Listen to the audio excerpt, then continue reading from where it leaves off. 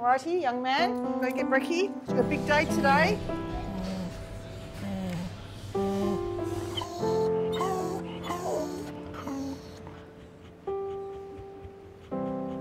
It's all about the puppies. Not surprising. Nothing for George, which is a bit disappointing.